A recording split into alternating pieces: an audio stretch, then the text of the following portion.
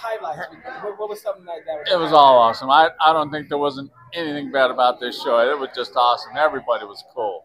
Everybody. All right, now here's the question. I know you said it was cool, and you had some highlights. The real question is, are you coming back next month? Yes, March 11th. Yep. Eleven. Now she said, Jessica, you didn't, you haven't committed yet, but you. Oh, I'm coming. I'm coming back. Absolutely. Okay, okay, okay. Uh, yeah, this is a great show. It was produced well. Uh, comedians are great. The poetry was awesome.